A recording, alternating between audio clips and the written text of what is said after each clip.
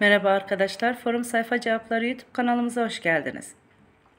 Bugün sizinle 3. sınıf hayat bilgisi çalışma kitabı MEP yayınları sayfa 17'yi işleyeceğiz. Sınıfımızın krokisi cevapları. Soru.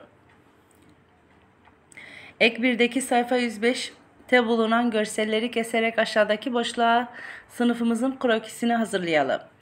Cevap. Kendi sınıfınıza göre görselleri keserek yapıştırınız. Bugünkü videomuz bu kadar.